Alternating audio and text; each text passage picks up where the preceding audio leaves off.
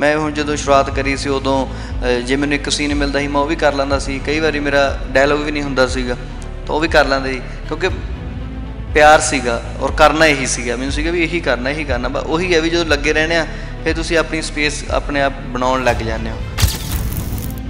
ਪਹਿਲੀ ਫਿਲਮ ਦੇ ਵਿੱਚ ਹੀ ਮੇਰੀ ਪੋਸਟਰ ਤੇ ਫੋਟੋ ਸੀਗੀ, ਜੋ ਮੈਂ ਪਹਿਲਾਂ ਛੋਟਾ ਹੁੰਦਾ ਸੋਚਦਾ ਹੁੰਦਾ ਕਿ ਯਾਰ ਮੇਰੇ ਵੀ ਕੋਈ ਪੋਸਟਰ ਲੱਗੂਗਾ ਇਦਾਂ ਮੇਰੀ ਪਹਿਲੀ ਫਿਲਮੀ ਪੋਸਟਰ ਤੇ ਫੋਟੋ ਘਰੋਂ ਸਕੂਟਰ ਜਾਂ ਕੋਈ ਗੱਡੀ ਕੱਢਦੇ ਆ ਨਾ ਤਾਂ ਖੱਡਾ ਵੀ ਆਉਣਾ ਹੈ ਸਪੀਡ ਬ੍ਰੇਕਰ ਵੀ ਆਉਣੇ ਆ ਕਿਤੇ ਤੁਸੀਂ 100 ਤੇ ਵੀ ਕਰ ਲੈਣੇ ਵੀ ਸਮੂਥ ਜਾਂਦੀ ਹੈ।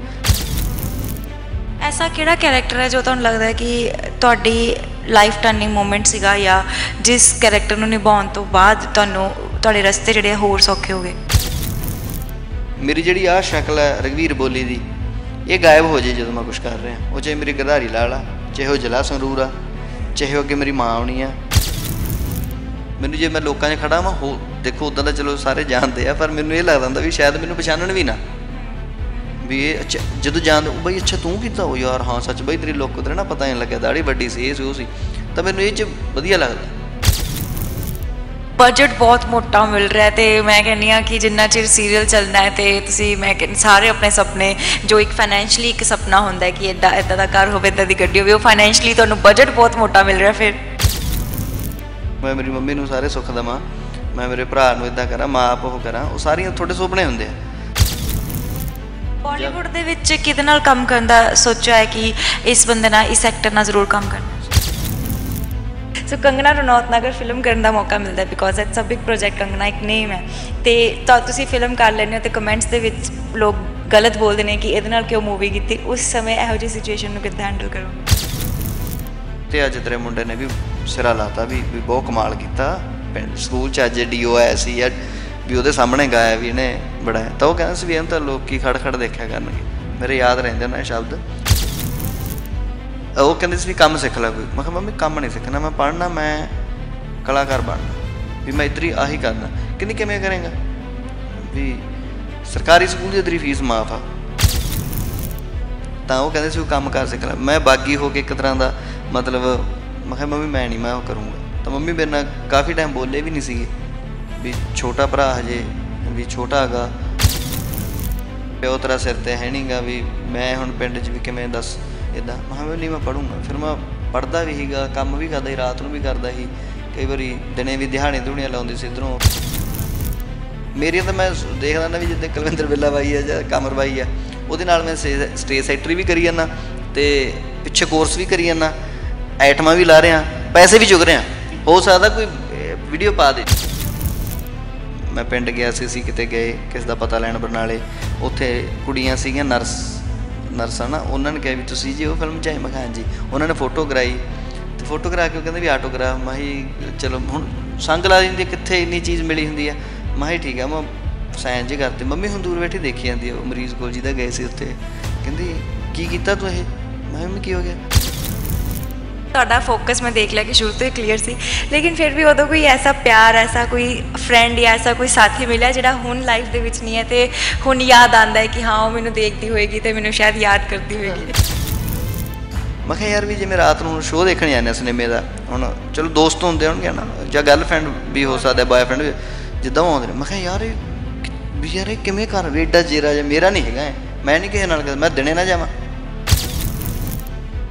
ਸਤਿ ਸ਼੍ਰੀ ਅਕਾਲ ਜੀ, ਤੁਸੀਂ ਦੇਖ ਰਹੇ ਹੋ ਡੇਲੀ ਪੋਸਟ ਪੰਜਾਬੀ। ਮੈਂ ਆਕਾਂक्षा ਸੋਢੀ ਤੇ ਆਪਣੀ ਪੰਜਾਬੀ ਇੰਡਸਟਰੀ ਦੀ ਇੱਕ ਗੱਲ ਤਾਂ ਖਾਸ ਮੰਨਣੀ ਪਏਗੀ ਕਿ ਇਹਦੇ ਵਿੱਚ ਜਿੰਨੇ ਵੀ ਥੀਏਟਰ ਆਰਟਿਸਟ ਨੇ ਜਾਂ ਕੈਰੈਕਟਰ ਆਰਟਿਸਟ ਨੇ ਟਾਈਮ ਆਉਣ ਤੋਂ ਬਾਅਦ ਜਿਹੜੀ ਸਾਡੀ ਪੰਜਾਬ ਦੀ ਆਡੀਅנס ਹੈ ਨਾ, ਇਹਨਾਂ ਦੀ ਕਲਾ, ਇਹਨਾਂ ਦਾ ਟੈਲੈਂਟ ਜ਼ਰੂਰ ਪਹਿਚਾਨ ਲੈਂਦੀ ਹੈ। ਚਾਹੇ ਅਸੀਂ ਬੀਨੂ ਢਿੱਲੋਂ ਜੀ ਦੀ ਗੱਲ ਕਰੀਏ, ਕਾਕਾ ਕੌਤਕੀ ਜੀ ਦੀ ਗੱਲ ਕਰੀਏ, ਜਾਂ ਕਰਮਜੀਤ ਅਨਮੋਲ ਜੀ ਦੀ ਗੱਲ ਕਰੀਏ, ਜਿੰਨੇ ਵੀ ਅਗਰ ਆਪਾਂ ਕ- ਕਈ ਸਾਲਾਂ ਤੋਂ ਦੇਖਦੇ ਆ ਰਹੇ ਹਾਂ ਪੰਜਾਬੀ ਸਿਨੇਮਾ ਦੇ ਵਿੱਚ, ਜਿੰਨੇ ਵੀ ਕੈਰੈਕਟਰ ਆਰਟਿਸਟ ਆ, ਉਹ ਇੱਕ ਟਾਈਮ ਤੇ ਆ ਕੇ ਇੰਨੇ ਜ਼ਿਆਦਾ ਐਸਟੈਬਲਿਸ਼ ਹੋ ਗਏ ਕਿ ਹੁਣ ਉਹ ਆਪਣੇ ਆਪ ਦੇ ਵਿੱਚ ਹੀਰੋ ਨੇ ਤੇ ਆਪਣੇ ਆਪ ਦੇ ਵਿੱਚ ਉਹ ਇੱਕ ਫੁੱਲ ਪੈਕੇਜ ਐਂਟਰਟੇਨਮੈਂਟ ਨੇ। ਸੋ ਇਦਾਂ ਦਾ ਹੀ ਇੱਕ ਕਲਾਕਾਰ ਅੱਜ ਸਾਡੇ ਨਾਲ ਜੁੜ ਗਿਆ ਰਗਬੀਰ ਬੋਲੀ ਜੀ ਜਿਹੜੇ ਕੈਰੈਕਟਰ ਆਰਟਿਸਟ ਬੰਦੇ ਬੰਦੇ ਬੰਦੇ ਬੰਦੇ ਹੁਣ ਹੌਲੀ ਹੌਲੀ ਇੱਕ ਐਸਾ ਮੁਕਾਮ ਹਾਸਿਲ ਕਰਦੇ ਜਾ ਰਹੇ ਨੇ ਕਿ ਮੈਨੂੰ ਲੱਗਦਾ ਉਹ ਸਮਾਂ ਦੂਰ ਨਹੀਂ ਜਦੋਂ ਇਹ ਲੀਡ ਤੇ ਬਤੌਰ ਹੀਰੋ ਬਤੌਰ ਲੀਡ ਐਕਟਰ ਵੀ ਕੰਮ ਕਰਨਗੇ। ਥੈਂਕ ਯੂ ਸਤਿ ਸ਼੍ਰੀ ਅਕਾਲ ਜੀ ਰਗਬੀਰ ਜੀ। ਸਤਿ ਸ਼੍ਰੀ ਅਕਾਲ ਜੀ ਬਹੁਤ ਬਹੁਤ ਸ਼ੁਕਰੀਆ ਜੀ ਮਿਹਰਬਾਨੀ। ਦੇਖੋ ਮੈਂ ਕਹਿ- ਪਤਾ ਨਹੀਂ ਕਿਉਂ ਅੱਜ ਇਦਾਂ ਹੋ ਰਿਹਾ ਕਿ ਮੈਂ, ਤੁਹਾਨੂੰ ਤਾਂ ਬਹੁਤ ਵਾਰੀ ਪਹਿਲਾਂ ਵੀ ਮਿਲੇ ਆ ਸੀ, ਪਰ ਪਹਿਲਾਂ ਇੰਟਰਵਿਊ ਵੀ ਕੀਤੀ ਆ, ਲੇਕਿਨ ਮੈਂ ਪਤਾ ਨਹੀਂ ਕਿਉਂ ਨਰਵਸ ਅੱਜ। ਤੇ ਕੋਈ ਇੱਧਰ ਉੱਧਰ ਮੈਂ ਕੋਈ ਗੱਲ ਪਹਿਲਾਂ ਬੋਲਤੀ ਹੈ ਜਾਂ ਤੁਸੀਂ ਖੁਸ਼ ਨਹੀਂ ਹੋਏ ਹੋ ਮੇਰੀ ਇੰਟਰੋਡਕਸ਼ਨ ਤੋਂ, ਤਾਂ ਪਹਿਲੇ ਹੀ ਸੌਰੀ ਬੋਲ ਦਿੰਦੇ ਹੋ। ਨਹੀਂ ਨਹੀਂ ਜੀ, ਬਹੁਤ ਵਧੀਆ ਸੀ, ਕੋਈ ਗੱਲ ਨਹੀਂ ਸੋ ਗੱਲ uh, ਪਹਿਲਾਂ ਤਾਂ ਤੁਹਾਨੂੰ ਬਹੁਤ ਬਹੁਤ ਮੁਬਾਰਕਾਂ, ਤੁਹਾਡੀ ਮੂਵੀ ਬੱਬਰ ਹੈ, ਜਿਹੜੀ ਬਹੁਤ ਵਧੀਆ ਕਰ ਰਹੀ ਹੈ। ਬੱਬਰ ਦੇ ਵਿੱਚ ਜਿਹੜਾ ਤੁਹਾਡਾ ਕਿਰਦਾਰ ਹੈ, ਬੜਾ ਉਹਨੂੰ ਪਸੰਦ ਕੀਤਾ ਗਿਆ ਹੈ।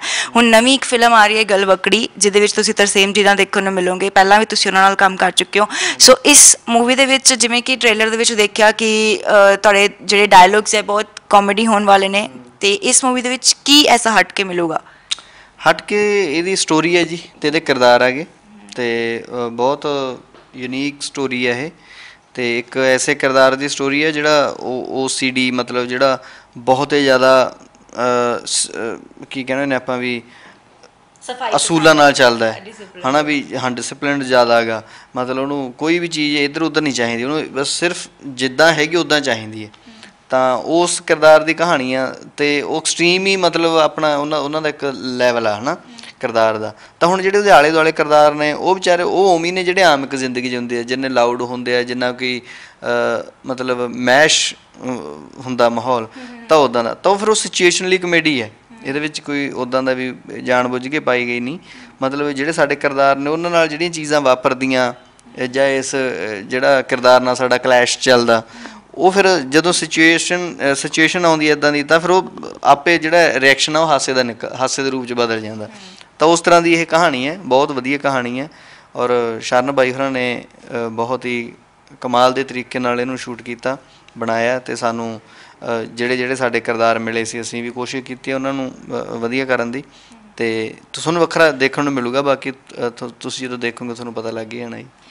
ਰਗਵੀਰ ਜੀ, ਜਿਵੇਂ ਕਿ ਮੈਂ ਕਿਹਾ ਕਿ ਆਪਣੀ ਪੰਜਾਬੀ ਆਡੀਅנס ਇਸ ਤਰ੍ਹਾਂ ਦੀ ਹੈ ਕਿ ਜਿਹੜੇ ਕੈਰੈਕਟਰ ਆਰਟਿਸਟ ਹੁੰਦੇ ਆ ਜਾਂ ਜਿਹੜੇ ਅਸੀਂ ਲੀਡ ਐਕਟਰ ਦੇ ਨਾਲ ਜਿੰਨੇ ਵੀ ਅਦਰ ਦੈਨ ਲੀਡ ਦੇਖਦੇ ਆ, ਉਹਨਾਂ ਨੂੰ ਪੰਜਾਬੀ ਆਡੀਅנס ਇੱਕ ਟਾਈਮ ਤੇ ਆ ਕੇ ਐਦਾਂ ਐਕਸੈਪਟ ਕਰਦੀ ਹੈ ਕਿ ਉਹ ਹੌਲੀ ਹੌਲੀ ਉਹ ਸਮਾਂ ਜਲਦੀ ਆ ਜਾਂਦਾ ਹੈ ਕਿ ਉਹ ਬਤੌਰ ਲੀਡ ਜਾਂ ਫਿਰ ਉਹ ਆਪਣੇ ਆਪ ਦੇ ਵਿੱਚ ਇੱਕ ਫੁੱਲ ਫਿਲਮ ਬਣ ਜਾਂਦੇ ਨੇ।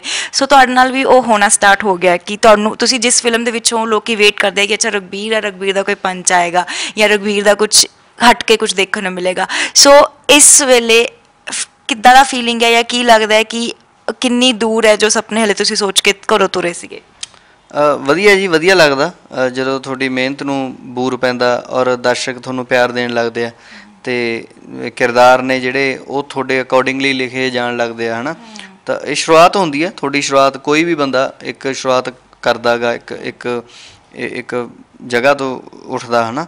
ਤਾਂ ਮੈਂ ਵੀ ਉਹੀ ਹੈ ਮੈਂ ਹੁਣ ਜਦੋਂ ਸ਼ੁਰੂਆਤ ਕਰੀ ਸੀ ਉਦੋਂ ਜੇ ਮੈਨੂੰ ਇੱਕ ਸੀਨ ਮਿਲਦਾ ਸੀ ਮੈਂ ਉਹ ਵੀ ਕਰ ਲੈਂਦਾ ਸੀ। ਕਈ ਵਾਰੀ ਮੇਰਾ ਡਾਇਲੋਗ ਵੀ ਨਹੀਂ ਹੁੰਦਾ ਸੀਗਾ ਤਾਂ ਉਹ ਵੀ ਕਰ ਲੈਂਦਾ ਸੀ। ਕਿਉਂਕਿ ਪਿਆਰ ਸੀਗਾ ਔਰ ਕਰਨਾ ਇਹੀ ਸੀਗਾ। ਮੈਨੂੰ ਸੀਗਾ ਵੀ ਇਹੀ ਕਰਨਾ ਇਹੀ ਕਰਨਾ। ਬਸ ਉਹੀ ਹੈ ਵੀ ਜਦੋਂ ਲੱਗੇ ਰਹਿੰਦੇ ਆ ਫਿਰ ਤੁਸੀਂ ਆਪਣੀ ਸਪੇਸ ਆਪਣੇ ਆਪ ਬਣਾਉਣ ਲੱਗ ਜਾਂਦੇ ਹੋ। ਤੁਹਾਨੂੰ ਦਰਸ਼ਕ ਤੁਹਾਡੀ ਇੱਕ ਇੱਕ ਵਰਗ ਹੁੰਦਾ ਜਿਹੜਾ ਤੁਹਾਨੂੰ ਪਿਆਰ ਕਰਨ ਲੱਗ ਜਾਂਦਾ। ਤੁਹਾਨੂੰ ਦੇਖਣਾ ਪਸੰਦ ਕਰਨ ਲੱਗ ਜਾਂਦਾ। ਔਰ ਹਾਂ। ਬੇਸ ਆਪਣਾ ਇੱਕ ਆਡੀਅנס ਬਣ ਜਾਂਦੀ ਫੈਨ ਨਹੀਂ ਮੈਂ ਤਾਂ ਆਪਦੇ ਪਿਆਰ ਕਹਿਣਾ ਹੁੰਨਾਗਾ। ਮੈਂ ਫੈਨ ਵਾਲੇ ਉਹ ਚ ਨਹੀਂ। ਪਰ ਵੀ ਜਿੱਦਾਂ ਹੁਣ ਡਾਇਰੈਕਟਰ ਨੇ ਜਿੰਨੇ ਵੀ ਜਾਂ ਸਟੋਰੀ ਰਾਈਟਰ ਨੇ ਉਹ ਤੁਹਾਡੇ ਤੇ ਫੇਥ ਕਰਨ ਲੱਗ ਜਾਂਦੇ ਵੀ ਯਾਰ ਇਹ ਬੰਦਾ ਇਸ ਮਾਹੌਲ ਦਾ ਹੈਗਾ ਇਹਨੇ ਇਹਨੇ ਕਰ ਲੈਣਾ। ਤਾਂ ਬਸ ਉਹਦੇ ਵਿੱਚ ਹੀ ਆ। ਮੈਨੂੰ ਕੋਈ ਮਤਲਬ ਮੈਂ ਜਦੋਂ ਜਦੋਂ ਮੇਰਾ ਡਾਇਲੋਗ ਨਹੀਂ ਹੁੰਦਾ ਸੀ, ਮੈਂ ਉਦੋਂ ਵੀ ਉਸੇ ਇਮਾਨਦਾਰੀ ਨਾਲ ਹੀ ਕਰਿਆ, ਆਪਣੇ ਕਿਰਦਾਰ ਨਾਲ, ਕਿਰਦਾਰ ਨੂੰ ਕਰਨ ਦੀ ਕੋਸ਼ਿਸ਼ ਕੀਤੀ ਹੈ। ਤੇ ਜਦੋਂ ਹੁਣ ਕੋਈ ਮੈਨੂੰ ਇਹ ਵੀ ਹੁੰਦਾ ਵੀ ਚਾਹੇ ਅਸੀਂ ਉਹ ਮੇਨ ਲੀਡਿੰਗ ਕਰੈਕਟਰ ਆ ਜਾਂ ਇੱਕ ਹੋਇਆ ਪਰ ਮੈਂ ਉਹਨੂੰ ਉਵੇਂ ਸਮਝ ਕੇ ਕਰਦਾ ਵੀ ਇਹ ਮੇਰਾ ਹੈਗਾ ਜਦੋਂ ਉਦੋਂ ਸੀ, ਉਦੋਂ ਹੀ ਮੈਂ ਕਹਿੰਦਾ ਸੀ, ਮੇਰੀ ਫਿਲਮ ਆ। ਮੈਂ ਇਹਦਾ ਮੇਨ ਆ ਬਸ। ਤੇ ਹੁਣ ਵੀ ਮੈਂ ਉਵੇਂ ਸੋ- ਸੋਚ ਕੇ ਕਰਦਾ ਵੀ ਮੈਂ ਇਹਦਾ ਮੇਨ ਆ ਤਾਂ ਤੁਸੀਂ ਜਦੋਂ ਇਸ ਇਮਾਨਦਾਰੀ ਨਾਲ, ਇਸ ਸ਼ਿੱਦਤ ਨਾਲ ਤੁਸੀਂ ਕੁਝ ਵੀ ਕਰਦੇ ਹੋ ਤਾਂ ਉਹੀ ਆ ਵੀ ਮਾਲਕ ਤੁਹਾਨੂੰ ਦਿੰਦਾ ਹੀ ਆ ਫਿਰ ਜੋ ਅਸੀਂ ਬਾਹਰ ਕੱਢਦੇ ਹਾਂ ਆਉਣਾ ਆਉਣਾ ਹੈ ਨਾ ਰਿਐਕਸ਼ਨ ਤੁਹਾਨੂੰ ਦਾ। ਤਾਂ ਇਹੀ ਆ ਵੀ ਚਲੋ ਹੁਣ ਜੋ ਮਿਲ ਰਿਹਾ ਕਰ ਰਹੇ ਹਾਂਗੇ ਜੋ ਹਿੱਸੇ ਆਉਂਦਾ ਜੀ। ਜਿਵੇਂ ਤੁਸੀਂ ਕਿਹਾ ਕਿ ਜਦੋਂ ਡਾਇਲੋਗ ਨਹੀਂ ਵੀ ਹੁੰਦਾ ਸੀ ਉਦੋਂ ਵੀ ਕਰਦਾ ਸੀ। ਆਪਣਾ ਉਹ ਪਹਿਲਾ ਪ੍ਰੋਜੈਕਟ ਜਾਂ ਆਪਣੀ ਉਹ ਪਹਿਲੀ ਫਿਲਮ ਜਾਂ ਆਪਣਾ ਉਹ ਪਹਿਲੀ ਸ਼ੂਟਿੰਗ ਯਾਦ ਹੈ ਜਦੋਂ ਤੁਸੀਂ ਬਤੌਰ ਐਕਟਰ ਕੰਮ ਕੀਤਾ ਸੀ? ਹਾਂ ਪਹਿਲੀ ਮੇਰੀ ਯਾਰ ਪਰਦੇਸੀ ਸੀ ਉਹਦੇ ਵਿੱਚ ਤਾਂ ਮੇਰਾ ਸੋਹਣਾ ਕੰਮ ਸੀਗਾ। ਔਰ ਪਹਿਲੀ ਫਿਲਮ ਹੀ ਮਿਲੀ ਸੀ ਮੈਨੂੰ ਜਿਹੜੀ, ਉਹਦੇ ਵਿੱਚ ਕਰੈਕਟਰ ਵੀ ਬਹੁਤ ਵਧੀਆ ਸੀਗਾ ਔਰ ਮੇਰੀ ਪਹਿਲੀ ਫਿਲਮ ਦੇ ਵਿੱਚ ਹੀ ਮੇਰੀ ਪੋਸਟਰ ਤੇ ਫੋਟੋ ਸੀਗੀ, ਜੋ ਮੈਂ ਪਹਿਲਾਂ ਛੋਟਾ ਹੁੰਦਾ ਸੋਚਦਾ ਹੁੰਦਾ ਕਿ ਯਾਰ ਮੇਰੇ ਵੀ ਕੋਈ ਪੋਸਟਰ ਲੱਗੂਗਾ ਇਦਾਂ ਮੇਰੀ ਪਹਿਲੀ ਫਿਲਮ ਹੀ ਪੋਸਟਰ ਤੇ ਫੋਟੋ ਤੇ ਉਹਨਾਂ ਕਲਾਕਾਰਾਂ ਨਾਲ ਜਿਨ੍ਹਾਂ ਨੂੰ ਮੈਂ ਛੋਟੇ ਹੁੰਦੇ ਦੇਖਦਾ ਸੀ, ਘੁੱਗੀ ਭਾਜੀ ਸੀਗੇ ਬੀਐਨਜੀ ਭਾਜੀ ਸੀਗੇ, ਤੇ ਬਿੰਨੂ ਵੀਰਾ ਸੀਗੇ, ਹਨਾ, ਇਹ ਉਹ ਸਾਰੇ ਉਹ- ਉਹ ਸੀਗੇ ਜਿਨ੍ਹਾਂ ਨੂੰ ਮੈਂ ਛੋਟੇ ਹੁੰਦਾ ਤੇ, ਜਿਨ੍ਹਾਂ ਨੂੰ ਹਨਾ ਪ੍ਰਭਾਵਿਤ ਸੀਗੇ।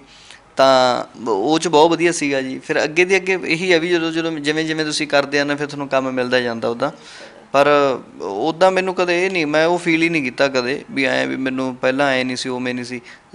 ਸਮਾਂ ਹੁੰਦਾ ਹਰ ਇੱਕ ਚੀਜ਼ ਦਾ ਥੋੜੀ ਜਰਨੀ ਆ। ਜਦੋਂ ਅਸੀਂ ਘਰੋਂ ਸਕੂਟਰ ਜਾਂ ਕੋਈ ਗੱਡੀ ਕੱਢਦੇ ਆ ਨਾ, ਤਾਂ ਖੱਡਾ ਵੀ ਆਉਣਾ ਸਪੀਡ ਬ੍ਰੇਕਰ ਵੀ ਆਉਣੇ ਆ। ਕਿਤੇ ਤੁਸੀਂ 100 ਤੇ ਵੀ ਕਰ ਲੈਣੇ ਵੀ ਸਮੂਥ ਜਾਂਦੀ ਹੈ ਤਾਂ ਉਸੇ ਤਰ੍ਹਾਂ ਮਿਲਾ ਜ਼ਿੰਦਗੀ ਹੈ ਉਸੇ ਤਰ੍ਹਾਂ ਸਾਡਾ ਮਾਹੌਲ ਹੈ ਵੀ ਤੁਹਾਨੂੰ ਕਿਤੇ ਦੋ ਸੀਨ ਵੀ ਮਿਲਦੇ ਆ ਕਦੇ ਤੁਹਾਨੂੰ ਹੋ ਸਕਦਾ ਵੀ ਬਹੁਤ ਘੈਂਟ ਕਰੈਕਟਰ ਮਿਲਿਆ ਹੋਵੇ ਹਨਾ ਜਿਹੜਾ ਵੀ ਵੀ ਥਰੂ ਆਊਟ ਸਾਰੀ ਫਿਲਮ 'ਚ ਹੋਵੇ ਤਾਂ ਉਹ ਮੈਂ ਉਹ ਚੀਜ਼ ਤੇ ਕਦੇ ਮੈਂ ਸੋਚਿਆ ਨਹੀਂ ਹੈਗਾ ਨਾ ਐਸਾ ਕਿਹੜਾ ਕੈਰੈਕਟਰ ਹੈ ਜੋ ਤੁਹਾਨੂੰ ਲੱਗਦਾ ਹੈ ਕਿ ਤੁਹਾਡੀ ਲਾਈਫ ਟਰਨਿੰਗ ਮੂਮੈਂਟ ਸੀਗਾ ਜਾਂ ਜਿਸ ਕੈਰੈਕਟਰ ਨੂੰ ਨਿਭਾਉਣ ਤੋਂ ਬਾਅਦ ਤੁਹਾਨੂੰ ਤੁਹਾਡੇ ਰਸਤੇ ਜਿਹੜੇ ਹੋਰ ਸੌਖੇ ਹੋ ਗਏ? ਅ ਮੈਨੂੰ ਇਹ ਸੀਗਾ ਇਹ ਇੱਕ ਕਿਰਦਾਰ ਤਾਂ ਮਤਲਬ ਮੈਨੂੰ ਮੰਜੇ ਬਿਸਤਰੇ ਦਾ ਲੱਗਦਾ ਕਲੇਜਾ। ਜਿਹਦੇ ਨਾਲ ਮੇਰੀ ਥੋੜੀ ਜ਼ਿਆਦਾ ਮਤਲਬ ਕਿਉਂਕਿ ਫਿਲਮ ਜਦੋਂ ਸੁਪਰ ਹਿੱਟ ਹੁੰਦੀ ਹੈ ਨਾ ਕੋਈ ਵੀ ਫਿਲਮ ਤਾਂ ਉਹ ਜਿਹੜੇ ਛੋਟੇ ਛੋਟੇ ਕਿਰਦਾਰ ਹੁੰਦੇ ਉਹ ਵੀ ਹਿੱਟ ਹੋ ਜਾਂਦੇ ਆ। ਜਿੱਦਾਂ ਕੈਰੀ ਔਨ ਜੱਟਾ ਪਹਿਲਾਂ ਹਿੱਟ ਹੋਈ ਸੀ ਉਹਦੇ ਵਿੱਚ ਜਿੰਨੇ ਕਿਰਦਾਰ ਸੀ ਜਿਵੇਂ ਹੁਣ ਸ਼ੋਲੇ ਆ ਉਹ ਚ ਘੋੜੀ ਨੂੰ ਵੀ ਜਾਣਦੇ ਆ ਹਨਾ? ਤਾਂ ਉਹ ਉਹ ਚੀਜ਼ ਆ। ਤਾਂ ਉਹ ਫਿਲਮ ਐਡੀ ਵੱਡੀ ਸੁਪਰ ਹਿੱਟ ਸੀ ਤਾਂ ਉਹ ਕਲੇਜਾ ਇੱਕ ਫਿਰ ਮੇਰਾ ਕਰਮੀਤ ਭਾਜੀ ਹੋਰਾਂ ਨਾਲ ਸਾਧੂ ਹਲਵਾਈ ਨਾਲ ਉਹ ਇੰਟਰੈਕਸ਼ਨ ਸੀਗੀ। ਤਾਂ ਉਹ ਗਿਵ ਐਂਡ ਟੇਕ ਆ ਜਿਹੜਾ ਉਹ ਐਕਸ਼ਨ ਰਿਐਕਸ਼ਨ ਆ ਉਹ ਜਦੋਂ ਪੰਚ ਬਣ ਕੇ ਨਿਕਲਦਾ ਤਾਂ ਤੁਸੀਂ ਉਹਦੇ ਹਿੱਸਾ ਹੁੰਨੇ ਹੋ। ਤਾਂ ਉਹਦੇ ਨਾਲ ਮੈਨੂੰ ਥੋੜੀ ਜ਼ਿਆਦਾ ਉਹ ਮਿਲੀ। ਉਸ ਤੋਂ ਬਾਅਦ ਮਤਲਬ ਫਿਰ ਜਿੱਦਾਂ ਆਪਣੀ ਅ, ਲਾਵਾਂ ਫੇਰੇ ਸੀਗੀ ਉਹਦੇ ਵਿੱਚ ਬਹੁਤ ਵਧੀਆ ਰਿਹਾ। ਫਿਰ ਉਸ ਤੋਂ ਬਾਅਦ ਹੌਲੀ ਹੌਲੀ ਜਿਵੇਂ ਜਿਵੇਂ ਸੀਗਾ ਜਿਵੇਂ ਮਰ ਗਿਓ ਲੋਕੋ ਆਈ ਉਹਦੇ ਵਿੱਚ ਮੇਰਾ ਕਿਰਦਾਰ ਹੋਰ ਇੱਕ ਹੋਰ ਕਿਰਦਾਰ ਸੀ ਜਿਹੜਾ ਮੇਰਾ ਪਰਸਨਲ ਫੇਵਰੇਟ ਹੈ ਤੁਹਾਡਾ ਜਿਹੜਾ ਮੈਂ ਤੁਹਾਨੂੰ ਦੱਸਿਆ ਵੀ ਸੀਗਾ ਕਿ ਇਹ ਕਿਰਦਾਰ ਤੁਹਾਡਾ ਸ਼ਾਇਦ ਅੱਗੇ ਜਾ ਕੇ ਬਹੁਤ ਲੋਕਾਂ ਨੂੰ ਯਾਦ ਰਹੇਗਾ ਸ਼ਾਵਾਨੀ ਕਿਰਦਾਰੀ ਲਾਲ ਵਾਲਾ। ਉਹ ਕਿਰਦਾਰ ਵੀ ਕੁਝ ਡਿਫਰੈਂਟ ਸੀਗਾ। ਉਸ ਤੇ ਵੀ ਮੈਨੂੰ ਲੱਗਦਾ ਕਾਫੀ ਤੁਹਾਡੀ ਮਿਹਨਤ ਲੱਗੀ ਸੀ। ਹਾਂ ਮੈਨੂੰ ਹੁਣ ਮੇਰਾ ਕੋਸ਼ਿਸ਼ ਰਹਿੰਦੀ ਹੈ ਹੁਣ ਮੈਂ ਇੱਕ ਤਾਂ ਇਹ ਹੈ ਵੀ ਚਲੋ ਮੈਂ ਥੋੜਾ ਜਿਹਾ ਚੂਜ਼ ਕਰਕੇ ਕਰਦਾ ਹੁਣ ਕੰਮ। ਤੇ ਇੱਕ ਮੈਨੂੰ ਇਹ ਰਹਿੰਦਾ ਵੀ ਮੈਂ ਡਿਫਰੈਂਟ ਕਰਾਂ। ਮੇਰੀ ਜਿਹੜੀ ਆਹ ਸ਼ਕਲ ਹੈ ਰਗਵੀਰ ਬੋਲੀ ਦੀ ਇਹ ਗਾਇਬ ਹੋ ਜੇ ਜਦੋਂ ਮੈਂ ਕੁਝ ਕਰ ਰਿਹਾ। ਉਹ ਚਾਹੇ ਮੇਰੀ ਗਧਾਰੀ ਲਾਲ ਆ ਚਾਹੇ ਉਹ ਜਲਾ ਸੰਗਰੂਰ ਆ ਚਾਹੇ ਅੱਗੇ ਮੇਰੀ ਮਾਂ ਆਉਣੀ ਆ। ਗਲਵੱਕੜੀ ਦੇ ਵਿੱਚ ਮੇਰੀ ਹੈਗੀ ਕਿਉਂਕਿ ਉਹ ਕਾਲਜ ਬੁਆਏ ਆ ਹਨਾ ਕੋ ਇੱਕ ਨੌਜਵਾਨ ਆ। ਪਰ ਜਿੱਦਾਂ ਹੁਣ ਗਿਰਧਾਰੀ ਲਾਲ ਦੀ ਤੁਸੀਂ ਗੱਲ ਕੀਤੀ ਆ ਉਹ ਕਿਰਦਾਰ ਹੈ ਇੱਕ ਭੰਗੀ ਦਾ। ਮੇਰੀ ਜਿਹੜਾ ਮੈਂ ਰਗਵੀਰ ਬੋਲੀ ਆ ਉਹ ਉਸੇ ਏਜ ਚ ਜਾਂਦਾ ਨਹੀਂ ਹੈਗਾ। ਉਹ ਏਜ ਹੈਗੀ ਮਤਲਬ ਵੀ 40 45 ਵਾਲੀ ਮੰਨ ਲਓ ਜਾਂ 35 ਵਾਲੀ ਉੱਪਰਲੀ। ਔਰ ਮੈਂ ਮੇਰੀ ਜਿਹੜੀ ਮੇਰੀ ਜਿਹੜੀ ਦੇਖ ਉਹ ਬਹੁਤ ਯੰਗ ਯੰਗਰ ਆ ਹਨਾ। ਤਾਂ ਉਹਦੇ ਵਿੱਚ ਉਹਦੇ ਉਸ ਲਈ ਫਿਰ ਮੈਂ ਜਿੱਦਾਂ ਵੀ ਦਾੜੀ ਵਧਾਈ ਹਨਾ ਉਸ ਤਰ੍ਹਾਂ ਦਾ ਮਾਹੌਲ ਕਰਿਆ ਤਾਂ ਉਹਦਾ ਤੁਸੀਂ ਵਜਨ ਵਜਨ ਤੇ ਵੀ ਇਹ ਚੀਜ਼ਾਂ ਕਰਦੇ। ਮੈਨੂੰ ਇਹ ਮੈਨੂੰ ਇਹ ਰਹਿੰਦਾ ਹੈਗਾ। ਤੇ ਫਿਰ ਉਹਦਾ ਤੁਸੀਂ ਜਿੰਨਾ ਵੀ ਕਰੈਕ ਕਿਰਦਾਰ ਦੇ ਜਿਹੜੇ ਸਬਟੈਕਸਟ ਹੁੰਦੇ ਆ ਵੀ ਬੋਲੂਗਾ ਕਿਵੇਂ ਬੈਠੂਗਾ ਕਿਵੇਂ ਖੜੂਗਾ ਕਿਵੇਂ ਇਹਦਾ ਕਿਹੜਾ ਇਹਦਾ ਵਰਡ ਆ ਉਹ ਚੀਜ਼ਾਂ ਤੇ ਕੰਮ ਕਰਦੇ ਹੋ ਤੁਸੀਂ ਹਨਾ।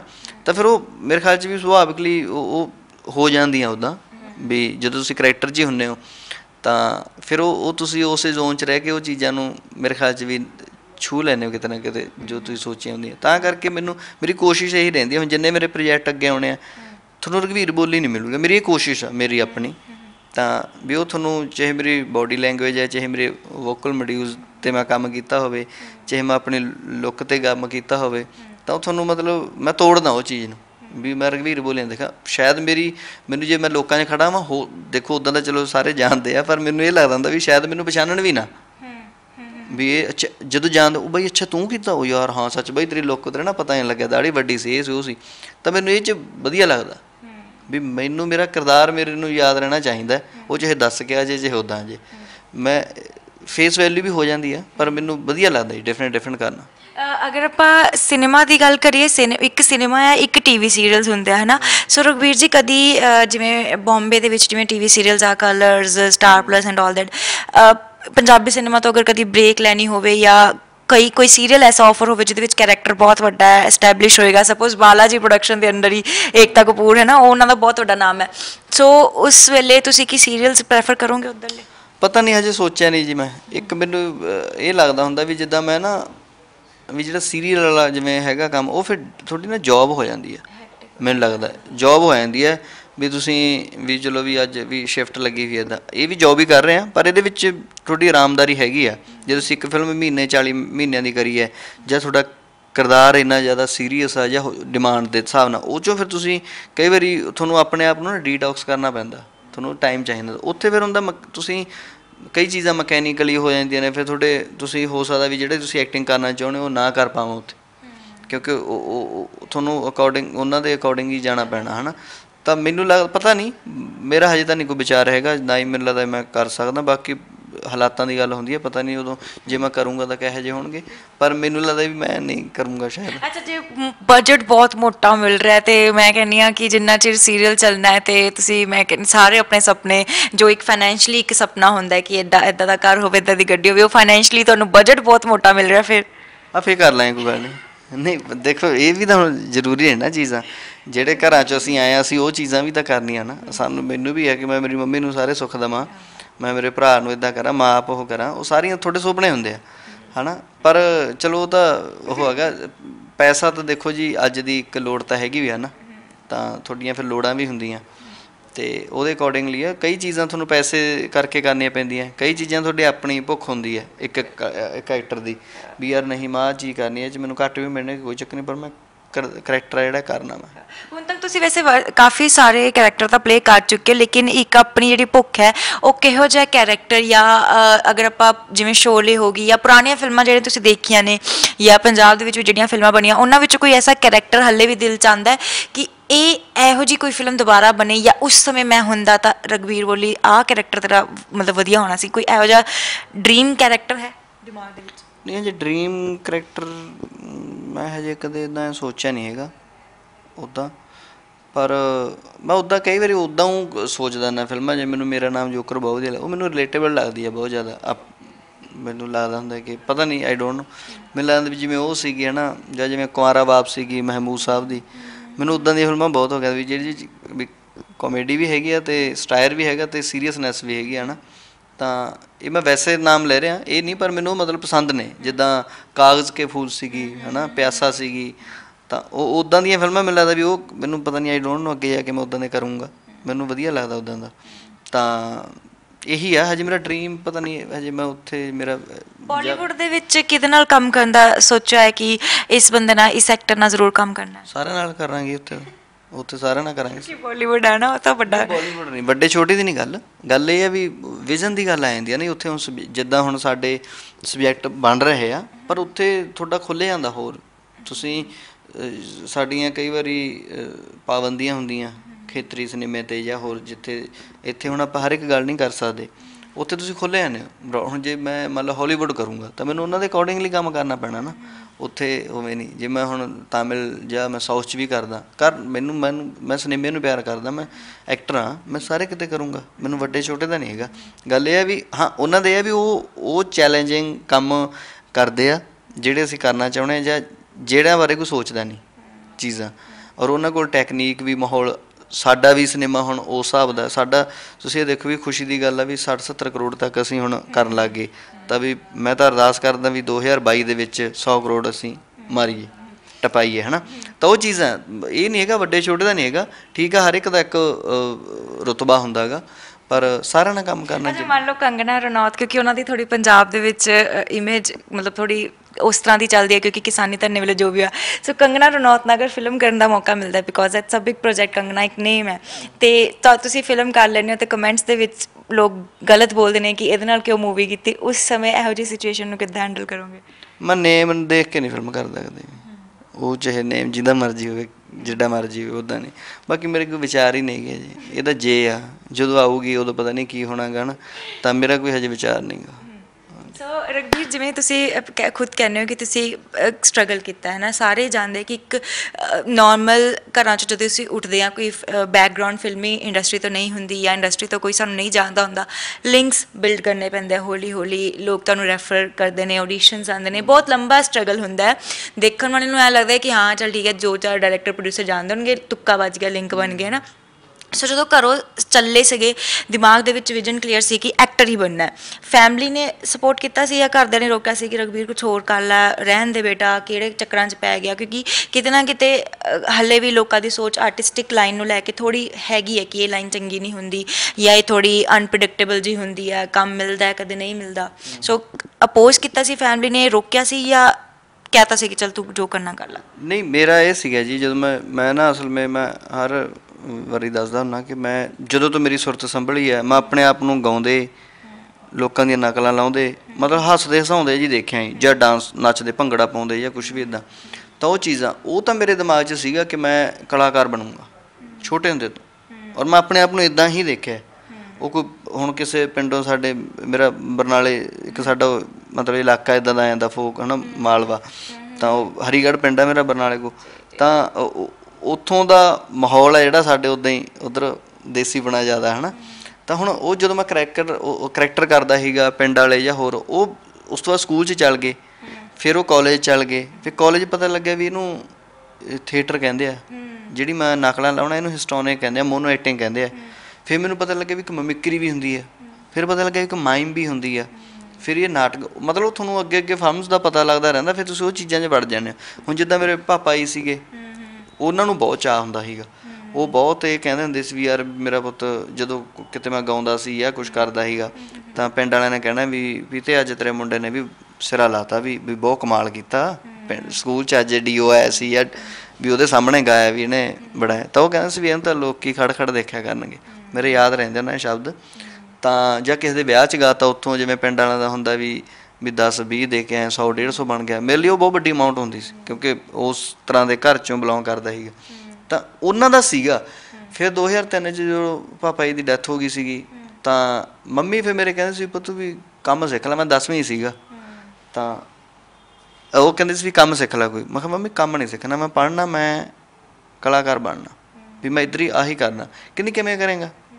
ਵੀ ਸਰਕਾਰੀ ਸਕੂਲ ਦੀ ਤੇਰੀ ਫੀਸ ਮਾਫ ਆ। ਵੀ ਤੂੰ ਸਕੂਲ ਚ ਗਾਹਾਂ ਕਿੱਥੇ ਪੜ੍ਹੇਗਾ, ਕਿਵੇਂ ਪੜਾਉਂਗੀ ਮੈਂ ਤੈਨੂੰ ਇਹ ਤਾਂ ਮੈਂ ਕਿਹਾ ਮੈਨੂੰ ਨਹੀਂ ਪਤਾ, ਮੈਂ ਜੇ ਮਰਜ਼ੀ ਕਰਾਂ। ਫਿਰ ਮੈਂ ਇਹ ਵੀ ਸੀ, ਦਿਹਾੜੀਆਂ ਵੀ ਕਰਦੇ ਹੋ ਤੁਸੀਂ ਕਿਉਂਕਿ ਉਹ ਮੈਂ ਮੈਂ ਚੁਣਿਆ ਸੀ ਨਾ ਰਸਤਾ। ਫਿਰ ਰਾਤਾਂ ਨੂੰ ਵੀ ਕੰਮ ਕੀਤਾ ਹੈਗਾ ਤਾਂ ਉਹ ਚੀਜ਼ਾਂ ਨੇ, ਉਹ ਫਿਰ ਮਤਲਬ ਮੰਮੀ ਮੇਰੇ ਨਹੀਂ ਸੀਗੇ, ਮਤਲਬ ਐ, ਉਹਨਾਂ ਨੂੰ ਕਿਉਂਕਿ ਘਰ ਦੇ ਹਾਲਾਤ ਉਦਾਂ ਦੇ ਸੀਗੇ ਨਾ, ਮੈਂ ਹੀ ਵੱਡਾ ਸੀਗਾ।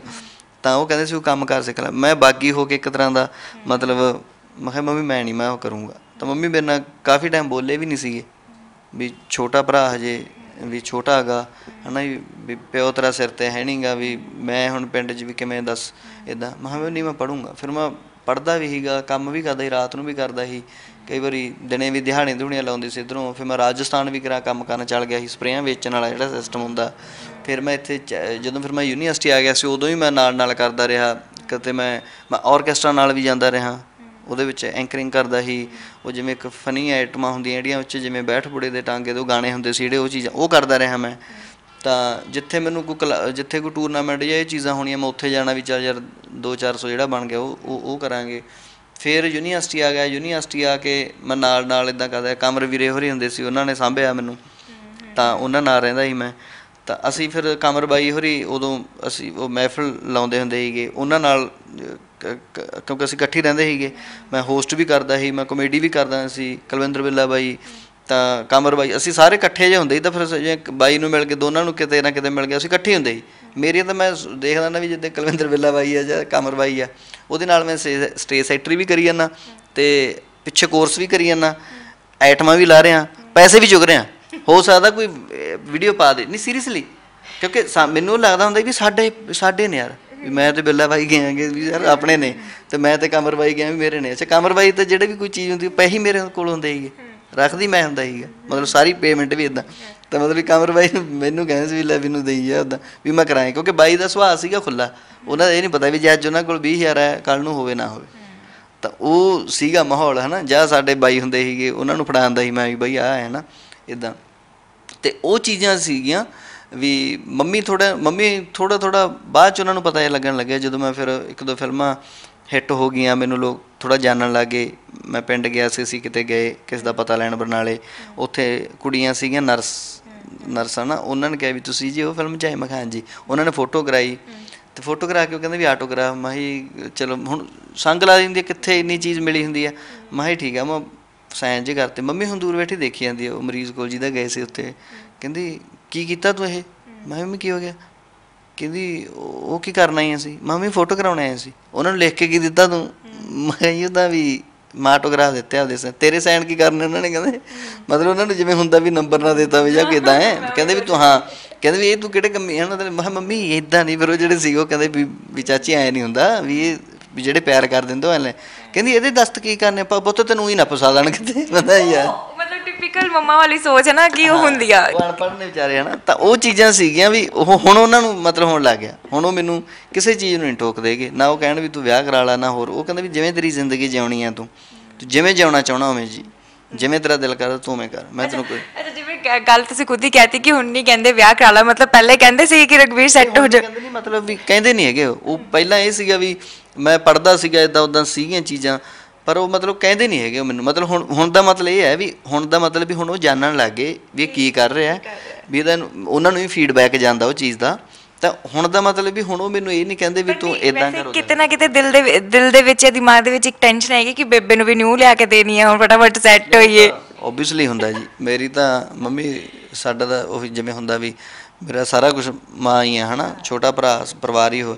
ਤਾਂ ਉਹ ਤਾਂ ਸਾਰੇ ਮਾਵਾਂ ਦਾ ਵੀ ਸੁਪਨਾ ਹੁੰਦਾ ਹੈ, ਹਨਾ? ਪੁੱਤਾਂ ਦਾ ਵੀ ਹੁੰਦਾ ਵੀ ਜੇ ਮੇਰਾ ਕੋਈ ਸਾਥੀ ਹਮਸਫਰ ਹੋਵੇ, ਤਾਂ ਉਹ ਇਦਾਂ ਦਾ ਹੋਵੇ ਜਿਹੜਾ ਮੇਰੀ ਮਾਂ ਨੂੰ ਸਾਂਭੇ, ਹਨਾ? ਸਾਂਭੇ ਦਾ ਮਤਲਬ ਬਸ ਇਹੀ ਹੁੰਦਾ ਵੀ ਅੱਜ ਦਾ ਟਾਈਮ ਆ ਜਿਹੜਾ, ਜਿਵੇਂ ਹੁਣ ਜ- ਸਾਡੀਆਂ ਜਿਹੜੀਆਂ ਮੰਮੀਆਂ ਆ ਗਈਆਂ, ਉਹਨਾਂ ਨੂੰ ਡੈਡੀ ਜਾਂ ਕਈ ਵਾਰੀ ਚਾਚੇ ਤਾਏ ਵੀ ਝਿੜਕ ਦਿੰਦੇ ਸੀਗੇ, ਹਨਾ? ਕਈ ਵਾਰੀ ਮਾਰ ਕੁੱਟ ਵੀ ਦਿੰਦੇ ਸੀ, ਪਰ ਉਹ ਐਡੀਆਂ ਮਤਲਬ ਪਿੱਛੋਂ ਸਿੱਖਿਆ ਐਸੀ ਮਿਲੀ ਸੀ ਪੁੱਤ ਤੇਰਾ ਘਰ ਉਹੀ ਆ ਤੂੰ ਉੱਥੇ ਰਹਿਣਾ। ਉਹ ਸਿਦਕ ਜਾਂ ਜਿਹੜਾ ਉਹ ਉਹ ਜਿਹੜੀ ਮਤਲਬ ਹੁਣ ਉਹਦੀ ਮੈਨੂੰ ਲੱਗਦਾ ਵੀ ਘਾਟ ਆ ਥੋੜੀ ਜੀ ਕਿਉਂਕਿ ਜਨਰੇਸ਼ਨ ਥੋੜੀ ਸਾਡੇ ਵਾਲਾ ਵੀ ਪੜ੍ਹੇ ਲਿਖੇ ਹੋ ਗਏ ਹੋਰ ਹੋ ਗਏ ਪਰ ਇਹ ਵੀ ਹਰੇਕ ਚੀਜ਼ ਨੂੰ ਫਿਰ ਵੀ ਹੱਕ ਨੂੰ ਮਤਲਬ ਹੋਰ ਤਰੀਕੇ ਨਾਲ ਹੀ ਵਰਤ ਲੈਣਾ। ਪਰ ਮੈਨੂੰ ਇਹ ਲੱਗਦਾ ਵੀ ਕੋਈ ਵੀ ਹਮਸਫਰ ਹੋਵੇ ਤੁਹਾਡਾ ਤੁਹਾਨੂੰ ਸਮਝਣ ਵਾਲਾ ਹੋਵੇ ਮੇਰੇ ਕਿੱਤੇ ਨੂੰ ਸਮਝਣ ਵਾਲਾ ਹੋਵੇ ਤਾਂ ਮੇਰੀ ਮਾਂ ਦੀ ਉਹਨਾਂ ਨੂੰ ਸਟਰਗਲ ਪਤਾ ਹੋਵੇ, ਮੇਰੀ ਸਟਰਗਲ ਪਤਾ ਹੋਵੇ, ਇਹ ਨਹੀਂ ਵੀ ਅੱਜ ਚੱਲ ਜੇ ਮੇਰਾ ਕੋਈ ਥੋੜਾ ਬਹੁਤਾ ਨਾਮ ਆ, ਉਹ ਚੀਜ਼ ਨੂੰ ਦੇਖ ਕੇ ਆਵੇ, ਇਹ ਹੋਵੇ ਵੀ ਜੇ ਕੱਲ ਨੂੰ ਮਿਲਵੇ ਇੱਕ ਰੋਟੀ ਹੋਈ, ਤਾਂ ਅੱਧੀ ਉਹ ਚੋਂ ਖਾਣ ਵਾਲੀ ਮਤਲਬ ਮੈਂ ਇਹ ਚੀਜ਼ਾਂ 'ਚ ਬਲੀਵ ਕਰਦਾ, ਵੀ ਮੇਰੇ ਲਈ ਪਿਆਰ ਵੀ ਜਾਂ ਉਹ ਚੀਜ਼ਾਂ, ਮੈਂ ਜ਼ਾਤ ਪਾਤ, ਧਰਮ, ਇਹ ਚੀਜ਼ਾਂ ਦੇਖ ਕੇ ਨਹੀਂ ਕਦੇ ਵੀ ਕਰਦਾ। ਮੈਨੂੰ ਹੁੰਦਾ ਵੀ ਜਿਹੜੇ ਵੀ ਮੇਰੇ ਦੋਸਤ ਨੇ ਜਾਂ ਜਿੱਦਾਂ ਮੇਰਾ ਇੰਡਸਟਰੀ 'ਚ ਵੀ ਸ਼ਾਇਦ ਪਿਆਰ ਇਸੇ ਕਰਕੇ ਹੈ ਹਨਾ, ਸਾਰਿਆਂ ਨਾਲ। ਤਾਂ ਮੈਨ- ਮੈਨੂੰ ਮੈਂ ਪਿਆਰ ਜਾਂ ਵੰਡਣ ਵਾਲਾ ਬੰਦਾ ਹੈਗਾ, ਮਤਲਬ ਪੋਜ਼ਿਟਿਵ ਪੋਜ਼ਿਟਿਵ ਜਾਂ ਮਾਹੌਲ ਵੀ ਮੈਨੂੰ ਨਾ ਮੈਂ ਕਦੇ ਆਪ ਬਾਹਲਾ ਰੋਇਆ ਜਾਂ ਹਾਂ ਠੀਕ ਆ ਤੁਹਾਡਾ ਕਦੇ ਅਪ ਡਾਊਨ ਮੂਡ ਹੁੰਦੇ ਆ ਸਵਿੰਗ ਹਨਾ ਤੁਹਾਡਾ ਠੀਕ ਆ। ਪਰ ਮੈਨੂੰ ਇਹ ਹੁੰਦਾ ਵੀ ਯਾਰ ਜਿੱਥੇ ਗਏ ਹੋ ਆਪਦੀ ਖੁਸ਼ਬੂ ਛੱਡੋ ਬਸ। ਤਾਂ ਉਹ ਚੀਜ਼ਾਂ ਨੇ। ਕਹਿਣ ਦਾ ਆਪਣਾ ਸਵਾਲ ਇਹ ਸੀਗਾ ਵੀ ਸਪੋਰਟ ਕਰਦੇ ਸੀ। ਹੁਣ ਮੰਮੀ ਮੈਨੂੰ ਕੁਝ ਨਹੀਂ ਰੋਕਦੇ। ਡੈਡੀ ਮੇਰੇ ਸ਼ੁਰੂ ਤੋਂ ਕਰਦੇ ਹੀ। ਸੋ ਰਗਵੀਰ ਜਿਵੇਂ ਤੁਸੀਂ ਹੁਣੇ ਕਿਹਾ ਕਿ ਪਿਆਰ ਵੰਡਦੇ ਆਏ ਹੋ ਤੁਸੀਂ ਜਾਂ ਜਿਵੇਂ ਅਸੀਂ ਸਕੂਲ ਕਾਲਜ ਦੇ ਵਿੱਚ ਵੀ ਹੁੰਨੇ ਆ, ਖੈਰ ਤੁਹਾਡਾ ਫੋਕਸ ਮੈਂ ਦੇਖ ਲਿਆ ਕਿ ਸ਼ੁਰੂ ਤੋਂ ਹੀ ਕਲੀਅਰ ਸੀ। ਲੇਕਿਨ ਫਿਰ ਵੀ ਉਦੋਂ ਕੋਈ ਐਸਾ ਪਿਆਰ, ਐਸਾ ਕੋਈ ਫਰੈਂਡ ਜਾਂ ਐਸਾ ਕੋਈ ਸਾਥੀ ਮਿਲਿਆ ਜਿਹੜਾ ਹੁਣ ਲਾਈਫ ਦੇ ਵਿੱਚ ਨਹੀਂ ਹੈ ਤੇ ਹੁਣ ਯਾਦ ਆਂਦਾ ਹੈ ਕਿ ਹਾਂ, ਉਹ ਮੈਨੂੰ ਦੇਖਦੀ ਹੋਏਗੀ ਤੇ ਮੈਨੂੰ ਸ਼ਾਇਦ ਯਾਦ ਕਰਦੀ ਹੋਏਗੀ। ਨਹੀਂ ਨਹੀਂ ਇਦਾਂ ਦਾ ਨਹੀਂ ਕੁਛ ਜੀ। ਤੁਹਾਡੇ ਦੋਸਤ ਹੁੰਦੇ ਹੈਗੇ, ਦੋਸਤ ਬਣਦੇ ਆ ਤੁਹਾਡੇ, ਦੋਸਤ ਹੁੰਦੇ ਹੁਣ ਵੀ ਹੈਗੇ ਮੇਰੇ ਜਿੰਨੇ ਕੁ, ਮੇਰਾ ਤਾਂ ਖਾਸ ਕਰ ਇਹ ਹੈ ਵੀ ਮੇਰਾ ਨਾ ਜ਼ਿਆਦਾਤਰ ਜਿੱਦਾਂ ਮੇਰੇ ਸੀਨੀਅਰ ਬਹੁਤ ਸੀਗੇ। ਮੈਨੂੰ ਪਤਾ ਨਹੀਂ ਉਹ ਜਿਵੇਂ ਹੁੰਦਾ ਵੀ ਤੁਸੀਂ ਜਿੱਦਾਂ ਦੇ ਆਪ ਹੁੰਦੇ ਯਾਰ ਤੁਹਾਨੂੰ ਉਦਾਂ ਦੇ ਲੋਕ ਮਿਲਦੇ ਆ। ਜਾਂ ਇਹ ਹੁੰਦਾ ਵੀ ਮੈਨੂੰ ਲੱਗਦਾ ਹੁੰਦਾ ਵੀ ਜਦੋਂ ਤੁਸੀਂ ਕਿਸੇ ਚੀਜ਼ ਪਿੱਛੇ ਪਏ ਹੋਣੇ ਨਾ ਕੁਦਰਤ ਆ ਜਿਹੜੀ ਉਹ ਤੁਹਾਡੇ ਆਲੇ ਦੁਆਲੇ ਨਾ ਇੱਕ ਬਾਉਂਡਰੀ ਕਰ ਦਿੰਦੀ ਆ ਬੰਦਿਆਂ ਦੀ।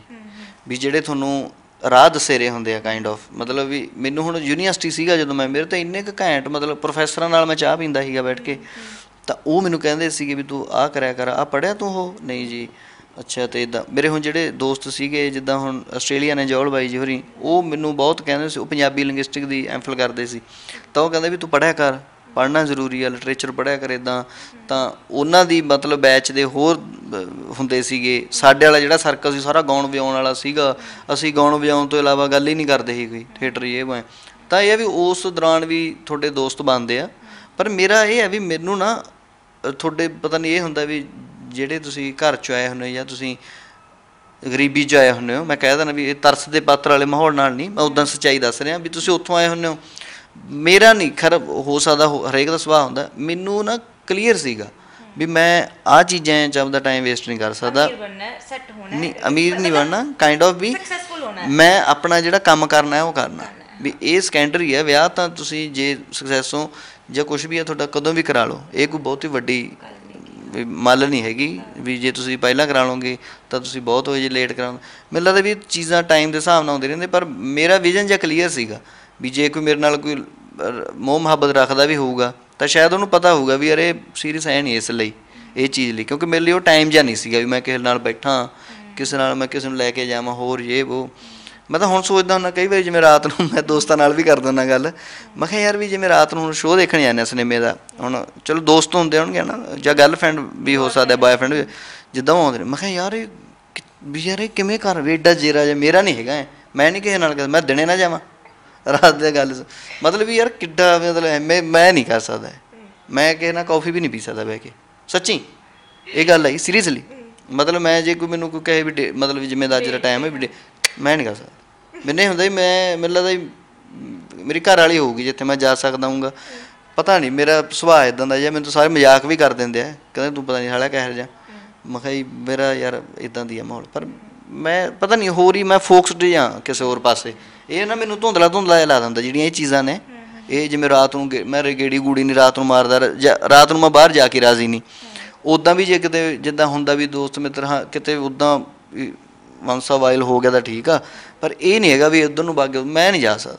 ਮੈਨੂੰ ਮੇਰੀ ਉਹ ਪਤਾ ਨਹੀਂ ਆਦਤ ਜੀ ਨਹੀਂ ਹੈਗੀ ਸੁਭਾਅ ਨਹੀਂ ਹੈਗਾ ਉਦਾਂ ਦਾ। ਅ, ਰਘਵੀਰ ਜਿਵੇਂ ਤੁਸੀਂ ਗਾਉਣ ਦਾ ਵੀ ਸ਼ੌਂਕ ਰੱਖਦੇ ਹੋ ਤੇ ਇੰਟਰਵਿਊ ਬਹੁਤ ਲੰਬੀ ਹੋ ਗਈ ਫਟਾਫਟ ਹੁਣ ਜਾਂਦੇ ਜਾਂਦੇ ਮੈਂ ਤੁਹਾਡੇ ਤੋਂ ਕੋਈ ਤੁਹਾਡਾ ਪਸੰਦੀਦਾ ਜਾਂ ਤੁਸੀਂ ਜਦੋਂ ਇਕੱਲਾ ਫੀਲ ਕਰਦੇ ਹੋ ਜਾਂ ਥੋੜਾ ਕਦੀ ਵੀ ਮੂਡ ਸਵਿੰਗ ਹੁੰਦਾ ਹੈ ਕੋਈ ਐਸਾ ਦਿਲ ਦੇ ਕਰੀਬ ਕੋਈ ਗਾਣਾ ਜਿਹੜਾ ਤੁਹਾਡਾ ਆਪਣਾ ਹੋਵੇ ਜਾਂ ਜਿਹੜਾ ਮਰਜ਼ੀ ਪਲੀਜ਼ ਮੈਂ ਦੋ ਲਾਈਨ ਜ਼ਰੂਰ ਸੁਣਨਾ ਚਾਹੂੰਗੀ। ਮੈਂ ਨਾ ਕਾਲਜ ਸਕੂਲ ਟਾਈਮ ਤੋਂ ਵੀ ਮਨਮੋਹਨ ਭਾਜੀ ਹੋਰਾਂ ਨੂੰ ਬਹੁਤ ਗਾਇਆ ਮੈਂ। ਮੈਂ ਉਹਨਾਂ ਨੂੰ ਬਹੁਤ ਗਾਉਂਦਾ ਸੀਗਾ। ਤਾਂ ਉਹਨਾਂ ਦਾ ਉਹਨਾਂ ਦੇ ਸਾਰੇ ਗਾਣੇ ਪਰ ਮੈਨੂੰ ਮੈਂ ਜਿਹੜਾ ਗਾਣਾ ਹੁੰਦਾ ਉਹ ਮੈਨੂੰ ਸੁਣਾ ਦੇਣਾ ਤੁਹਾਨੂੰ ਮੈਂ। ਆਉਂਦੀ ਜਾਂਦੀ ਛਾਵੇਂ ਬਹਿ ਗਈ ਜਦ ਜੀ ਕੀਤਾ ਛਾਂਗ ਕੇ ਲੈ ਗਈ। ਆਉਂਦੀ ਜਾਂਦੀ ਛਾਵੇਂ ਬਹਿ ਗਈ ਜਦ ਜੀ ਕੀਤਾ ਛਾਂਗ ਕੇ ਲੈ ਗਈ, ਉਸ ਰੁੱਖ ਨੂੰ ਵੱਢ ਕੇ, ਰੁੱਖ ਨੂੰ ਵੱਢ ਕੇ ਧੁੱਪੇ ਚਿਹਰਾ ਲੂਸ ਹੋ ਰਿਹਾ ਏ। ਦੱਸ ਸਾਨੂੰ ਛੱਡ ਕੇ ਕਿੱਦਾਂ ਦਾ ਮਹਿਸੂਸ ਹੋ ਰਿਹਾ ਏ?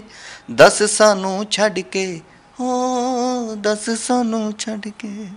ਥੈਂਕ ਯੂ ਸੋ ਮਚ ਰਘਵੀਰ ਜੀ ਬਹੁਤ ਮਜ਼ਾ ਆਇਆ ਤੁਹਾਡੇ ਨਾਲ ਗੱਲਬਾਤ ਕਰਕੇ ਤੇ ਗਲਵਕੜੀ 8 ਅਪ੍ਰੈਲ ਨੂੰ ਆ ਰਹੀ ਹੈ ਤੇ ਮੈਂ ਤਾਂ ਜ਼ਰੂਰ ਦੇਖੂੰਗੀ ਤੇ ਮੈਨੂੰ ਲੱਗਦਾ ਹੈ ਕਿ ਮੇਰੀ ਸਾਰੀ ਟੀਮ ਵੀ ਦੇਖੇਗੀ ਤੇ ਨਾਲ ਮੈਂ ਆਪਣੇ ਸਾਰੇ ਫਰੈਂਡਸ ਨੂੰ ਵੀ ਲੈ ਕੇ ਜਾਊਂਗੀ ਤੇ ਕੋਈ ਜਾਂਦੇ ਜਾਂਦੇ ਕੁਝ ਕਹਿਣਾ ਚਾਹੁੰਦੇ ਹੋ? ਬਸ ਇਹੀ ਕਹਿਣਾ ਜੀ 8 ਅਪ੍ਰੈਲ ਨੂੰ ਗਲਵੱਕੜੀ ਵਾਲੀ ਆ ਆਪਣੇ ਪਰਿਵਾਰ ਨਾਲ ਦੋਸਤਾਂ ਮਿੱਤਰਾਂ ਨਾਲ ਜਾ ਕੇ ਦੇਖੋ ਤੇ ਆਪਣੇ ਫੀਡਬੈਕ ਸਾਨੂੰ ਜ਼ਰੂਰ ਦਿਓ। ਟੈਗ ਕਰਿਓ ਸਟੋਰੀਆਂ ਪਾਇਓ ਕਿਉਂਕਿ ਤੁਹਾਡਾ ਦਿੱਤਾ ਹੌਸਲਾ ਤੁਹਾਡੀ ਹੌਸਲਾ ਅਫਜ਼ਾਈ ਸਾਨੂੰ ਮਤਲਬ ਗਲੂਕੋਜ਼ ਦਾ ਕੰਮ ਕਰਦੀ ਆ। ਸੋ ਸਾਡੀ ਉਹੀ, ਸਾਡਾ ਉਹੀ ਨਾਮ ਹੁੰਦੀ ਹੈ ਮੇਰੇ ਖਿਆਲ 'ਚ ਵੀ ਜੋ ਦਰਸ਼ਕ ਤੁਹਾਨੂੰ ਤੁਹਾਡੇ ਮੈਸੇਜਾਂ ਰਾਹੀਂ ਜਾਂ ਉਦਾਂ ਤੁਹਾਨੂੰ ਦੱਸਦੇ ਆ ਉਹੀ ਫੀਡਬੈਕ ਤਾਂ ਉਹ ਦੇਸੀ ਘਿਓ ਹੀ ਹੁੰਦਾ ਸਾਡੇ ਲਈ। ਸੋ ਫੀਡਬੈਕ ਜ਼ਰੂਰ ਦਿਓ, ਦੇਖਣ ਜਾਇਓ। ਬਹੁਤ ਕਮਾਲ ਦੀ ਫਿਲਮ ਹੈ। ਗਲਵਕੜੀ 8 ਅਪ੍ਰੈਲ ਥੈਂਕ ਯੂ ਤੇ ਇੱਥੇ ਮੈਂ ਇੱਕ ਚੀਜ਼ ਐਡ ਕਰਨਾ ਚਾਹੂੰਗੀ ਤੇ ਜ਼ਰੂਰ ਸਟੋਰੀਆਂ ਪਾਈਓ ਮੈਂਸ਼ਨ ਕਰਿਓ ਕਿਉਂਕਿ ਇਹ ਸਟੋਰੀ ਬੈਕ ਜ਼ਰੂਰ ਪਾਉਂਦੇ ਨੇ ਤੇ ਮੈਸੇजेस ਦੇ ਰਿਪਲਾਈ ਵੀ ਸਾਰਿਆਂ ਨੂੰ ਕਰਦੇ ਇਹਨਾਂ ਮੈਨੂੰ ਪਰਸਨਲੀ ਪਤਾ so thank you so much Ragveer all the best ਇੱਕ ਤੋਂ ਇੱਕ ਵਾਰੀ ਫਿਰ ਤੋਂ ਸ਼ੁਕਰੀਆ ਜੀ ਮਿਹਰਬਾਨੀ ਸੋ 8 ਅਪ੍ਰੈਲ ਨੂੰ ਆ ਰਹੀ ਹੈ ਰਗਵੀਰ ਬੋਲੀ ਦੀ ਨੈਕਸਟ ਫਿਲਮ ਗਲਵਕੜੀ ਤਰਸੇਮ ਜਰਸਰ ਤੇ ਵਾਮਿਕਾ ਦੇ ਨਾਲ ਬਹੁਤ ਹੀ ਪੈਪੀ ਜੀ ਬਹੁਤ ਹੀ ਪਿਆਰੀ ਜੀ ਲਵ ਸਟੋਰੀ ਹੈ ਟ੍ਰੇਲਰ ਆ ਚੁੱਕਿਆ YouTube ਤੇ ਜਾ ਕੇ ਜ਼ਰੂਰ ਦੇਖੋ ਮੇਰੇ ਨਾਲ ਕੈਮਰਾਮੈਨ ਆਯੂਸ਼ ਸਤਿ ਸ਼੍ਰੀ ਅਕਾਲ